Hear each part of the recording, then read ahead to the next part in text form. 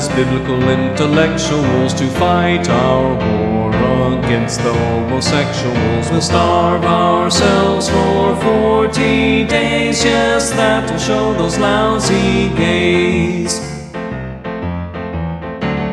We think the things they do are really gross, and so we'll fast until they go away.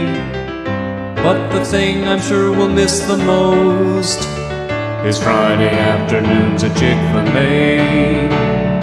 Join our march as biblical intellectuals to fight our war against the homosexuals. We'll starve ourselves for 40 days, yes, that'll show those lousy gays.